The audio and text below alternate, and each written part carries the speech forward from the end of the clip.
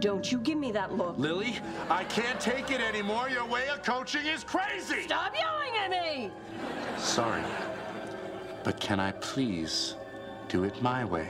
Fine. But I'm gonna do it my way too. I'm getting my guitar.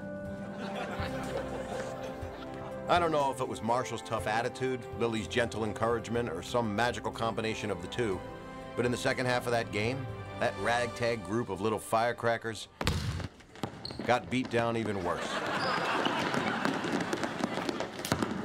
In fact, according to your Uncle Marshall, in the second half, the other team got even taller. And one of them turned into a teen wolf. Kenny,